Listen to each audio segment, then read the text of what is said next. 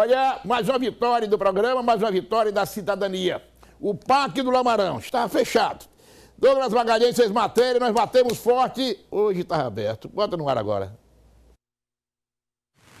Bairro Lamarão, Zona Norte de Aracaju. Nos últimos meses, a mancha criminal aqui do bairro Lamarão cresceu muito, com diversos assassinatos, prisões de traficantes, enfim, a violência estava reinando aqui. Então, o Cidade Alerta veio até o local para identificar o problema, porque dessa crescente violência. E nós batemos de frente com o problema.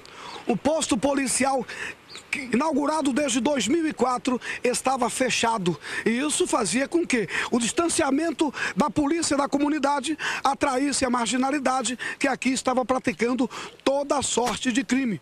E agora, para nossa surpresa, o posto está sendo reformado e em breve a polícia vai voltar a ocupar o seu verdadeiro espaço, que era o posto do atendimento ao cidadão, o PAC do Lamarão, que passou um tempinho desativado ativado. Olha aqui, ele foi inaugurado em março de 2004 e durante algum tempo é, os policiais se distanciaram do posto, né? Inclusive roubaram o todo, olha, tinha um toldo aqui, levaram, levaram o toldo, é, provocaram muitos danos e agora a polícia resolve retornar para o seu habitat, que é o posto de atendimento ao cidadão aqui no Lamarão. Esperamos que com isso a tranquilidade volte a reinar aqui neste bairro de gente ordeira e honesta. Aliás, é isso que o povo espera. Rapaz, eu espero que melhore para alguma coisa, porque até agora não tem melhora nenhuma.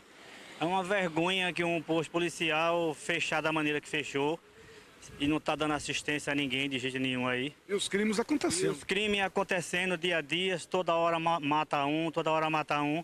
E polícia, Deus me livre. Mas vai reabrir. Vamos esperar, né? Esperança nós temos, né? Cidade Alerta veio aqui, cobrou e o posto está sendo reaberto. Está reformando agora. Espero, viu? Que eles façam o que tem que fazer, né? Porque está abandonado o Lamarão. Se não quer que a notícia seja divulgada, não deixe que o fato aconteça. Douglas Magalhães, aqui no parque que será entregue ao povo dentro em breve para o Cidade Alerta Sergipe. Isso, vitória da cidadania, vitória do programa, hein?